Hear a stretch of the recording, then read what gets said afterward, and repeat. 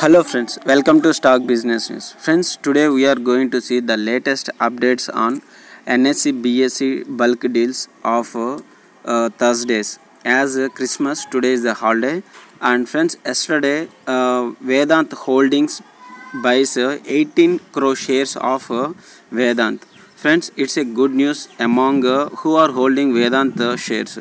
Why? Because around they bought 7 lakh shares uh, on NSE and 11.14 shares uh, in BSE.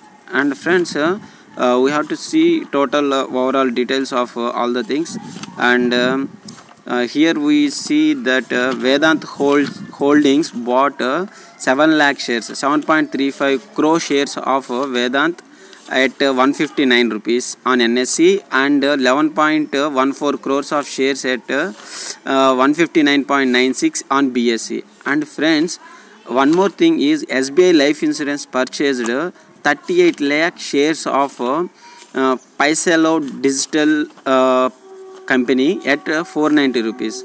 Friends, uh, few uh, fund managing companies uh, sold like uh, 19 lakh shares but uh, there is a difference between uh, uh, selling and buying.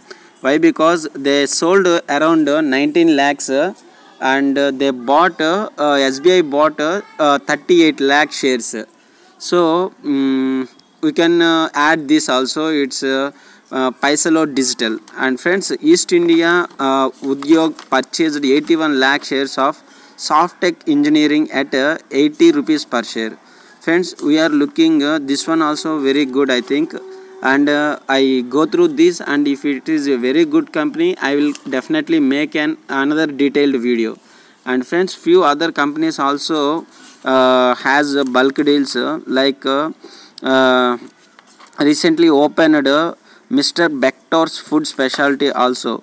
Few are buy and sold already and few are take added this company into their portfolio. And friends these are the uh, major bulk deals happened on um, Thursdays. And friends we hope uh, this, there are so much of new company names uh, held uh, on Thursdays bulk deals. So block deals was not a matter but when it comes under bulk deals we have to uh, see the company and uh, we can uh, purchase if it's a good company and if it has a future growth onwards so thank you very much friends if you like this video please subscribe my channel share my channel